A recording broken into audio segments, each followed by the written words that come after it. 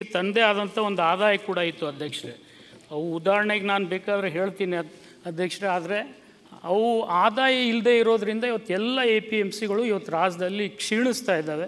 ಅದನ್ನು ದಯಮಾಡಿ ಮತ್ತು ಇದ್ರ ಜೊತೆಗೆ ನಾವು ಆವರ್ತ ನಿಧಿ ಕೂಡ ಸೃಷ್ಟಿ ಮಾಡಲಿಕ್ಕೆ ಆಗ್ತಾ ಇಲ್ಲ. ಆವರ್ತ ನಿಧಿಗೂ ಕೂಡ ಇವತ್ತು ನಾವು ಮೇಲಿನ ಮೇಲೆ ಸರ್ಕಾರಕ್ಕೆ ಕೈ ಒಡ್ಡಿ ಕೇಳಬೇಕಾದಂಥ ಪರಿಸ್ಥಿತಿ ಬರ್ತಾ ಇದೆ. ಮತ್ತು ಇನ್ನೊಂದು ಸ್ಥಿತಿ ಏನಪ್ಪ ಅಂದರೆ ನಾವು ಮೊದಲು ಈ ಎ ಪಿ ಎಂ ಸಿಗಳು ಊರ್ಜಿತದಲ್ಲಿ ಊರ್ಜಿತ ಅವಸ್ಥೆಯಲ್ಲಿ ಇದ್ದಾಗ ನಾವೇ ಈ ಎ ಪಿ ಎಂ ಸಿ ನೌಕರರಿಗೆ ಸ್ಯಾಲ್ರಿ ಕೊಡ್ತಿದ್ವಿ.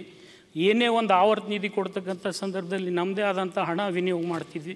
ಇವತ್ತು ಇದು ಯಾವುದೂ ಉಳಿದಿರದೇ ಇರೋದ್ರಿಂದ ಈ ಕಾನೂನನ್ನು ಪುನಃ ಜಾರಿಗೆ ಕೊಟ್ಟರೆ ಮತ್ತೆ ನಮ್ಮ ಎ ಪಿ ಎಂ ಸಿಗಳ ಗತವೈಭವ ಪುನಃ ಬರ್ತದೆ ಅಂತಕ್ಕಂಥ ವಿಶ್ವಾಸ ಇಟ್ಕೊಂಡು ಮಾನ್ಯ ಎಲ್ಲ ಸದಸ್ಯರಲ್ಲಿ ಇದಕ್ಕೆ ಬೆಂಬಲ ಕೊಡಬೇಕಂತೇಳಿ ನಾನು ಕೋರ್ತಾ ಇದ್ದೀನಿ ಅಧ್ಯಕ್ಷ.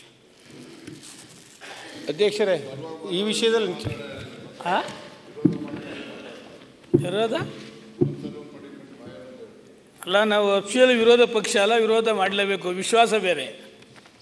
ಏನಿಲ್ಲ ಸೋಮಶೇಖರ್ ನೀನು ಸಚಿವ ಇದು ಎಲ್ಲ ಕೆಲಸ ಗೊತ್ತಿದೆ. ನಿನ್ನ ಕಾಲದಲ್ಲೇ ಆರ್ಡಿನೆನ್ಸ್ ಮಾಡಿಸಿದ್ದು ಕೇಂದ್ರ ಸರ್ಕಾರದಿಂದ ಸೂಚನೆ ಮೇರೆಗೆ ಇದೆ. ಬೆಬ್ಬರ್ ನಗ್ತಾವ್ರು ನೋಡು. ಸರಿ ಇಲ್ಲ ಅಂತನೋ ಸರಿ ಅಂತನೋ ಗೊತ್ತಿಲ್ಲ.